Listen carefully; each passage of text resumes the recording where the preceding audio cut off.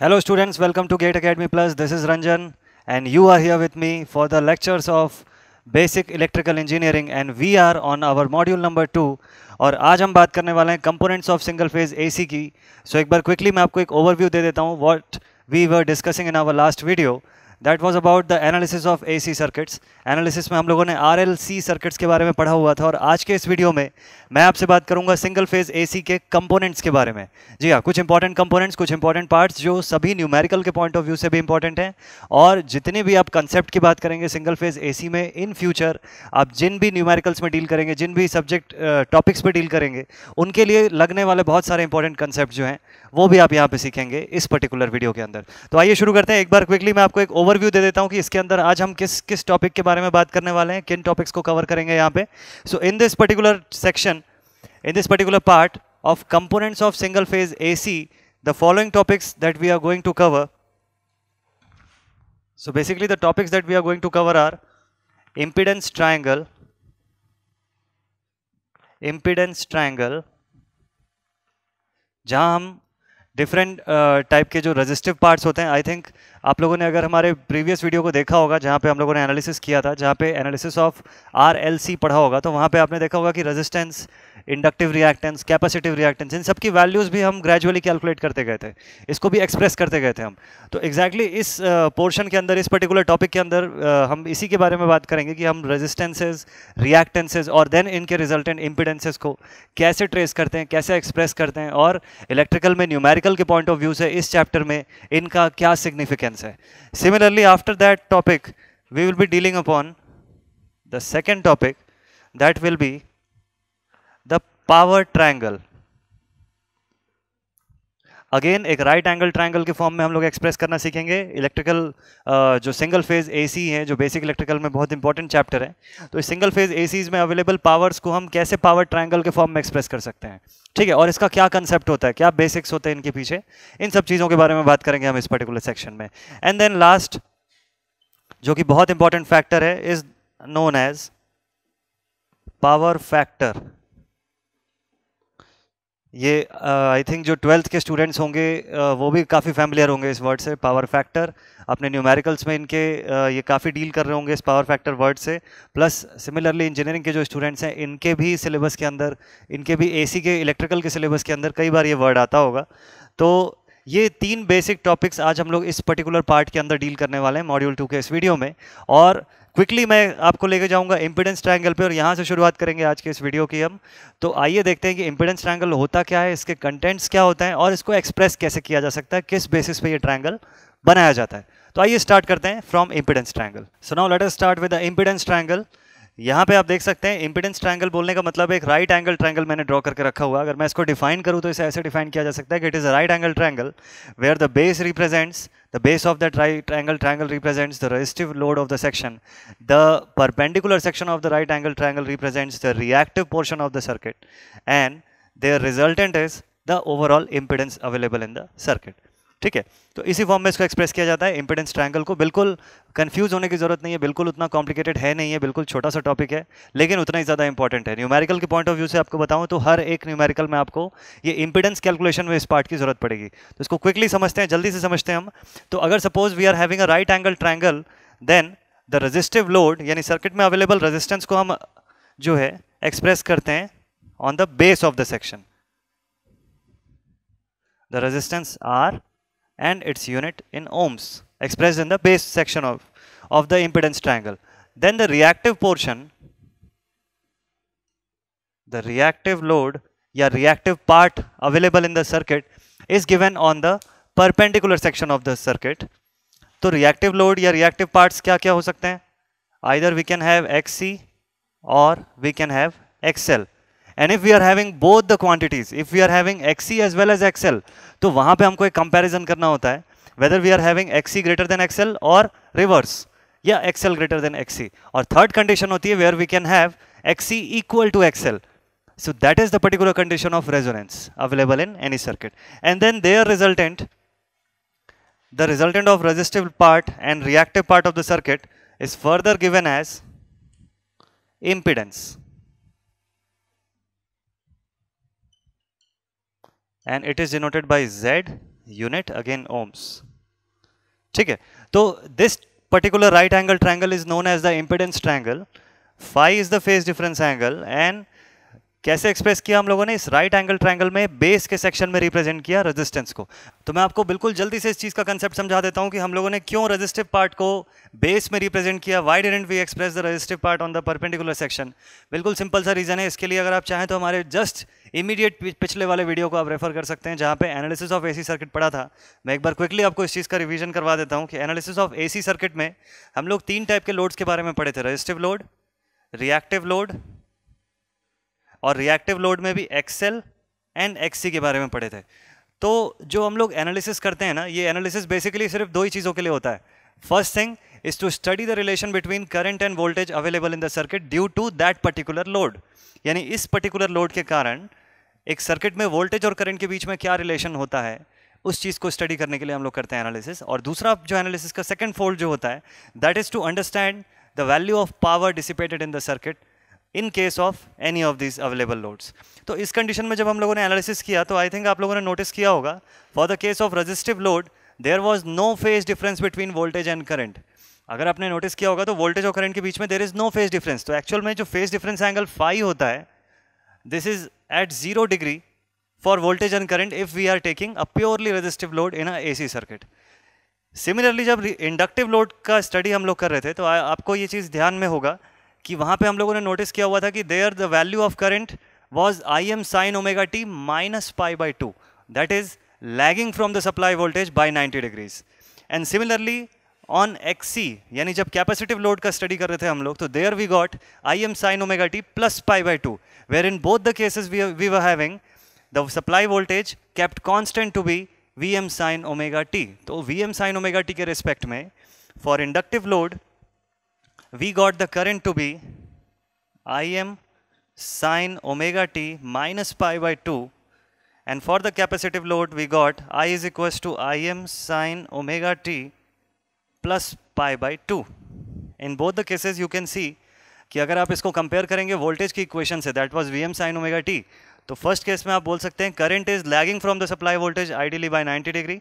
and second case में आप बोल सकते हैं कि the current is leading from the supply voltage by 90 degrees. तो दोनों ही कंडीशन में आपको 90 डिग्री का फेस शिफ्ट दिखाई देगा। ठीक है? And that is the reason why for both the cases we are showing the reactive section on the perpendicular side and for this particular case of resistive load जहाँ पे कोई phase difference नहीं होता voltage और current के case में। Voltage और current में कोई फ़ेज़ डिफरेंस नहीं होता अगर आपकी सर्किट में रेजिस्टिव लोड लगा हुआ है प्योरली तो the value of phi is zero that is the reason why we are expressing the resistive part on the base of that right angle triangle और अब जब सर्किट में दोनों पार्ट्स अवेलेबल हैं तो there resultant is given by impedance Z और जब इस पर आप पाइथागोरस थ्योरम अप्लाई करते हैं तो you can write the value of Z as under root R square plus X square ध्यान रखने वाली बात यहाँ पे ये यह है कि x will contain X C and X L if available in the circuit ठीक है? तो अगर ऐसा होता है तो there can be two conditions और in fact there can be three conditions तो थ्री कंडीशंस क्या क्या हो सकती है? Your value of Z will become under root R square plus X C minus X L whole square if X C is greater than X L एक ये condition available हो सकती है। Second condition can be Z will be equal to under root R square plus X L minus X C whole square इसके लिए कौन सी condition हो सकती है? If X L is greater than X C ठीक है? और थर्ड कंडीशन जो हो सकती है that can be the condition where we can have X L equal to X C and this particular thing is the condition of resonance where Z becomes equal to R ठीक है तो ये तीन basic conditions हो सकती हैं। तो usually जो आप न्यूमेरिकल सॉल्व करते हैं, उसमें इस टाइप की दो कंडीशंस पे ही आपको डील करना होता है। Because the third condition is directly Z equal to R वहाँ आपको कुछ भी चेंज करने की ज़रूरत नहीं है। जहाँ पे X L becomes equal to X तो आप चाहें तो ये तीन जो बेसिक फॉर्मूलेज है, इसको नोट कर सकते हैं। खासतौर पर इसमें से ये दो जो फॉर्मूलेज हैं, जो स्पेशल कंडीशंस में डील करते हैं, इन दोनों को आप नोट कर सकते हैं। अगर सपोज़ आपकी सर्किट है, उसमें आर एल सी ना होके आर एल है तो there you don't need to use any of this identities you है you can directly put under root R square plus X L square या आपके सर्किट में डायरेक्टली आरसी सर्किट अवेलेबल है, आपकी एसी सेक्शन में। तो आरसी सर्किट है तो you can there you can do R square plus X C square ठीक है? तो उन कंडीशंस में आपको ज़्यादा सोचने की ज़रूरत नहीं पड़ेगी। बस हाँ जिन कंडीशंस में आपको एक्सेल और एक्सी में ग्रेटर एंड लोअर कंडीशंस मिलेगी, वहाँ पे आप सर्किट में जेड की वैल्यू इन दो तरीकों से कैलकुलेट कर सकते हैं। अपार्ट फ्रॉम दैट ये इंपिडेंस ट्रायंगल हमको और दो चीज़ें बताता है। कौन कौन सी दो चीज़ें वो भी देख लेते हैं। From this impedance triangle we can get two more values that are related to the value of phi यानी कि यहाँ से अगर आप ट्रिग्नोमेट्रिक आइडेंटिटीज के फॉर्म में वैल्यू बताना चाहें तो you can find two things the value of sine phi and value of cos phi तो sine phi according to this right angle triangle can be given as X upon z and from the same right angle triangle आप लिख सकते हैं cos phi is equal to R upon Z ठीक है? तो ये दो वैल्यूज़ में मिलती हैं हमको इसी से। आगे चल के मैं आपको बताऊँगा जब हम अपने थर्ड पॉइंट पे पहुँच जाएँगे where we will be studying about the value of power factor वहाँ पे ये सेम टर्म आपके पास फिर से वापस आएगा। ठीक है? तो वहाँ हम लोग डिस्कस करेंगे कि व्हाट इज़ कॉस फाइव और ये आर बाई जेड का क्या यूज़ है, इसको हम लोग कैसे यूज़ करते हैं न्यूमेरिकल्स में। ठीक है? तो इतनी वैल्यूज़ हमको मिलती है from impedance triangle and this whole thing is known as impedance triangle the right angle triangle where the base represents resistive part perpendicular section represents the reactive part and there resultant is known as overall impedance available in the circuit ठीक है? तो अब इसके बाद चलते हैं next topic पे where we will be studying about the next thing that is power triangle ठीक है, बिल्कुल सिमिलर है इसी से और एकदम इसी के ऊपर बेस्ड है वहाँ भी ऐसा ही राइट एंगल ट्रायंगल पढ़ेंगे और देखेंगे कि सिंगल फ़ेज़ एसी में पावर्स भी कितने टाइप की होती हैं और एक्चुअल ट्रू पावर जो होता है, उसको कैसे एक्सप्रेस करते हैं और न्यूमेरिकल्स में कैसे यूज़ करते हैं तो आइए चलिए देखते हैं next point power triangle. Okay so now let us move on to our next topic, that is power triangle. ठीक है तो पावर ट्रायंगल के टॉपिक को एक बार देखते हैं कि इसके अंदर क्या करना है हमको पावर्स कितने टाइप की होती हैं एसी के अंदर तो similarly the way we draw impedance triangle in the same manner we are going to draw a power triangle ठीक है again it is going to be a right angle triangle इस right angle triangle के अंदर फिर से अगर मैं ऐसे फाइव एज्यूम कर लूँ तो पावर्स हमारे एसी में बेसिकली तीन अलग अलग टाइप की होती हैं। एक बार तो मैं क्विकली इनका नाम लिख देता हूँ, उसके बाद देखते हैं कि किसको कहाँ प्लेस करते हैं हम लोग। तो powers basically of three types number one is known as active power the second one is known as reactive power, and the third one is given as apparent power. तो पावर हमारे AC में basically तीन अलग अलग type की conditions के हिसाब से तीन अलग अलग टाइप्स में क्लासिफाई की जा सकती है। तो they are active reactive and apparent basically three powers ठीक है? तो active power is the only power that is also known as true power the true power available in any AC circuit ठीक है? और एक्टिव पावर जो है, इसे हम रिप्रेजेंट करते हैं by P reactive power is represented by Q and apparent power is represented by the letter S तो अल्फाबेटिकली अगर देखा जाए तो पी क्यू और एस के फॉर्म में हम एक्टिव रिएक्टिव और एपरेंट पावर्स को रिप्रेजेंट करते हैं। And they are also given as P equals to V R M S I R M S cos phi the reactive power is given as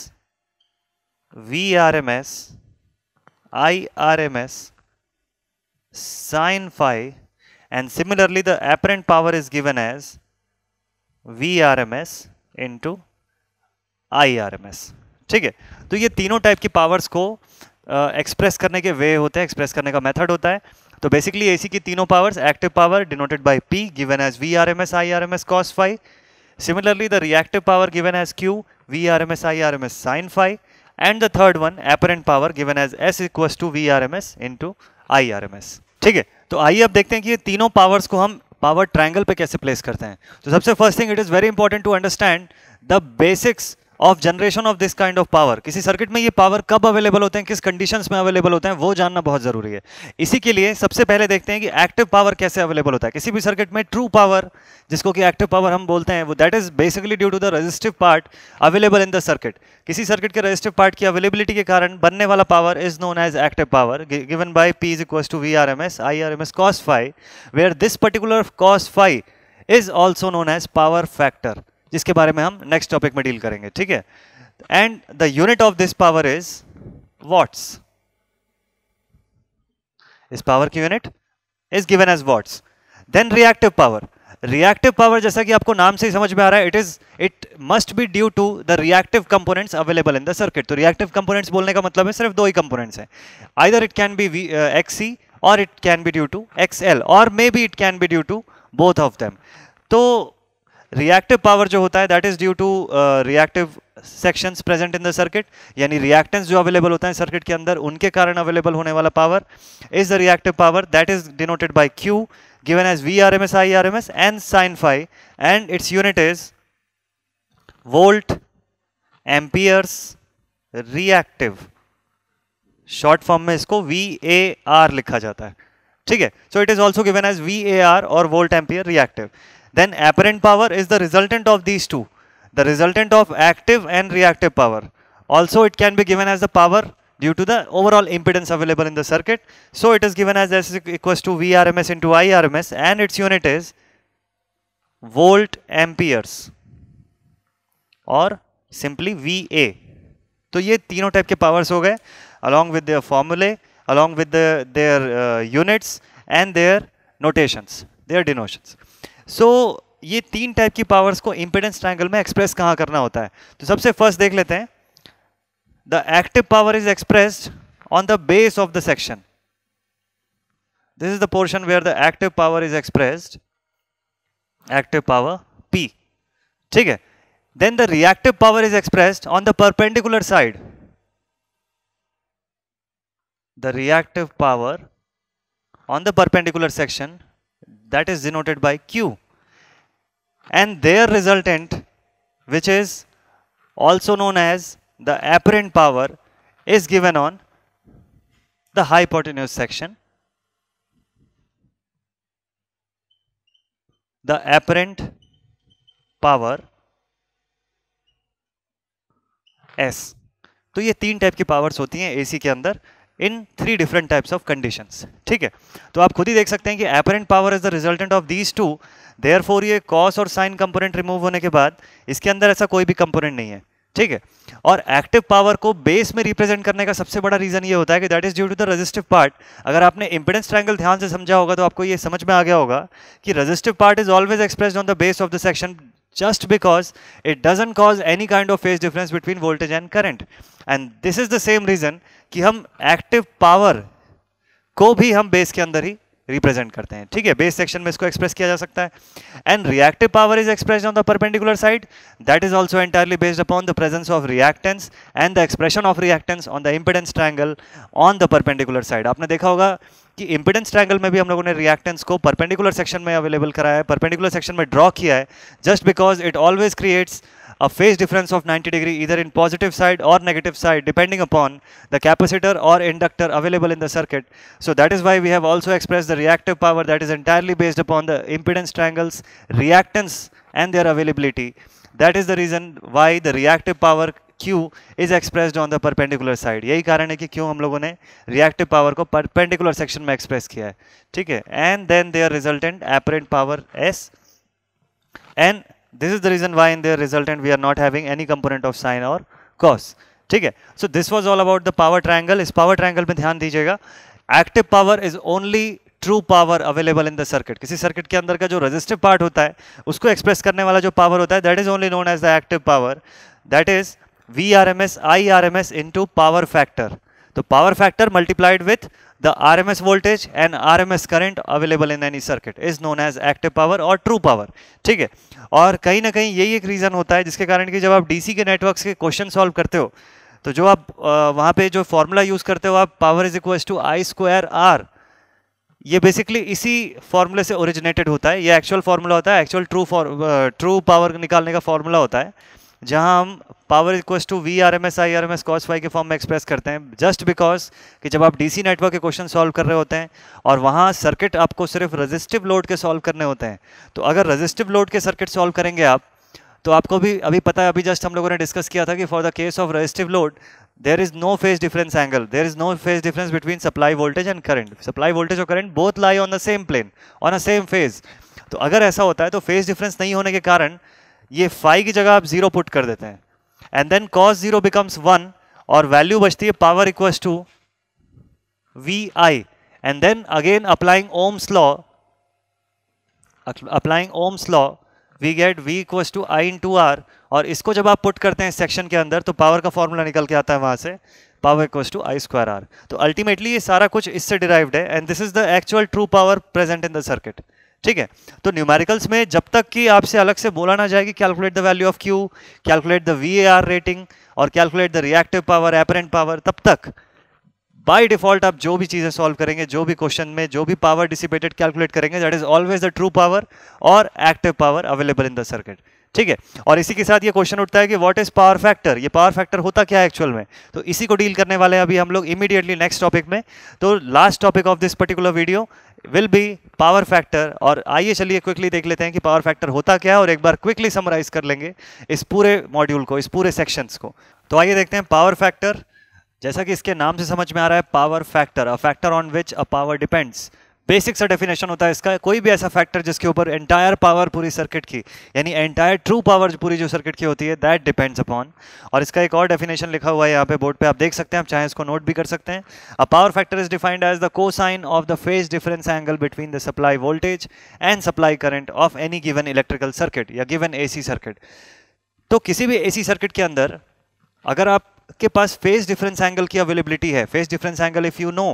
कि आपके पास supply current और supply voltage का phase difference angle कितना है? तो cosine of that particular angle is also known as power factor तो a factor on which the power of the circuit depends is known as power factor तो इसी कारण से power factor को हम लोग तीन अलग अलग तरीकों से एक्सप्रेस कर सकते हैं और न्यूमेरिकल में आप डेटा की अवेलेबिलिटी के अकॉर्डिंग इन तीनों में से किसी भी एक फॉर्म को सेलेक्ट कर सकते हैं। तो आइए जल्दी से मैं आपको ये लिख के बताता हूँ कि तीनों कौन कौन से फॉर्म्स होते हैं। सबसे फ़र्स्ट थिंग देखिए इसके डेफिनेशन के अकॉर्डिंग जो वर्ड होता है that is cos of phi, the cosine of phase difference angle between voltage and current. So, the cosine of phase difference angle between voltage and current. First form. Second is cos phi is equals to R upon Z यानी total circuit resistance upon total circuit impedance ये formula कहाँ से मिला हमको ये formula मिला impedance triangle से तो जो इंपिडेंस ट्रायंगल हम लोगों ने डिस्कस किया था, वहीं पे मैंने आपको बताया हुआ था कि ये सेम फॉर्मूला वापस आएगा जब पावर फैक्टर पे हम जाएँगे। तो पावर फैक्टर कैलकुलेट करने का एक और तरीका है कि आप पूरी सर्किट में available resistance with respect to available impedance के फॉर्म में एक्सप्रेस कर सकते हैं। और लास्ट मेथड एक होता है where the power factor is given as the ratio of active power and apparent power ये तीन तरीके होते हैं पावर फैक्टर कैलकुलेट करने के। तो पावर फैक्टर आप फ़र्स्ट कंडीशन के अकॉर्डिंग कैसे कैलकुलेट कर सकते हैं? अगर आपको वोल्टेज और करंट के बीच की फ़ेज़ डिफरेंस अवेलेबल है तो डायरेक्टली आप उसका कोसाइन करके पावर फैक्टर निकाल सकते हैं सर्किट का। सेकंड कंडीशन अगर आपको सर्किट की ओवरऑल रेजिस्टेंस और ओवरऑल इंपिडेंस के बारे में पता है वैल्यूज़ आपको पता है उसकी तो उस कंडीशन में आप पावर फैक्टर कैलकुलेट कर सकते हैं by taking cos Y equals to R upon Z और लास्ट तरीका क्या होता है? You can find the value of power factor by taking the ratio of active and reactive power ऐसा क्यों किया हम लोगों ने? तो एक्टिव और रिएक्टिव पावर दोनों का फॉर्मूला देख लीजिए। Active power is given as P equals to V R M S I R M S cos five whereas apparent power is V R M S I R M S अगर आप इन दोनों का ratio लेते हैं तो इस condition में V R M S I R M S और यहाँ पे V R M S I R M S cancel हो जाता है। And the remaining is the power factor of the given circuit ठीक है। So this is the calculation of power factor power factor में according to the availability of the data आपके given uh, question में जैसा भी data available है उसके according आप पावर फैक्टर के कोई भी फॉर्मूले का इस्तेमाल कर सकते हैं और आप क्वेश्चंस को सॉल्व कर सकते हैं। बिल्कुल सेम वैल्यू मिलेगी आपको उस कंडीशन में भी। और इसी के साथ इस पर्टिकुलर मॉड्यूल में जो component of single phase AC का जो पार्ट था ये इसके साथ कंप्लीट होता है जिसके अंदर हम लोगों ने इम्पिडेंस ट्रायंगल पावर ट्रायंगल और पावर फैक्टर, तीनों पॉइंट्स में डील किया। तो सिंगल फ़ेज़ एसी के बेसिक न्यूमेरिकल्स अगर आप टारगेट कर रहे हैं, अगर आप एग्ज़ाम के पॉइंट ऑफ़ व्यू से पढ़ रहे हैं, आप कंसेप्ट बिल्डिंग के पॉइंट ऑफ़ व्यू से पढ़ रहे हैं तो ये बेसिक चीज़ें ऐसी होती हैं जो आपको जाननी चाहिए, जो आपको आनी चाहिए। और इसी रीज़न से मैंने इन सारे टॉपिक्स को सेलेक्ट किया और इस मॉड्यूल में हम लोगों ने इन कंपोनेंट्स के बारे में डील करने की कोशिश की। तो आई होप कि आपको ये सारी चीज़ें समझ में आई होंगी, ये सारे बेसिक्स आप बिल्कुल पढ़ेंगे रिवाइज करेंगे और मैं कोशिश करूँगा कि हमारे आने वाले वीडियो में मैं इन सभी टॉपिक्स को, इस पूरे मॉड्यूल ये ये जो मॉड्यूल है this is entirely formula based module इस मॉड्यूल में आपने जो सिंगल फ़ेज़ एसी देखा होगा, इसमें बहुत अलग अलग टाइप के फॉर्मूलेज में स्टूडेंट्स डील करते हैं और ये कारण होता है कि at the end they get confuse they start getting confuse और ये भूल जाते हैं कि किस किस टाइप के फॉर्मूलेज हमको यूज़ करने हैं एग्ज़ाम में किस फॉर्मूलेज का कितना इंपॉर्टेंस होता है। तो इसी के साथ इस मॉड्यूल को हम कंप्लीट करते हैं एंड इमीडिएटली नेक्स्ट वीडियो में आप देखेंगे कि हम कुछ फॉर्मूलेज को समराइज करेंगे। एंड आफ्टर दोज समरीज हम क्विकली जाएँगे न्यूमेरिकल पार्ट में, जो कि बहुत इंपॉर्टेंट है एसी में डील करने के लिए। तो सभी न्यूमेरिकल्स में भी हम ग्रेजुअली डील करते चले जाएँगे। और इस पर्टिकुलर वीडियो से आई होप कि आपको ये सारे बेसिक कंसेप्ट क्लियर करने में बहुत हेल्प मिलेगी। तो आप बने रहिए हमारे साथ। जल्दी मिलेंगे नेक्स्ट वीडियो में। Till then thank you very much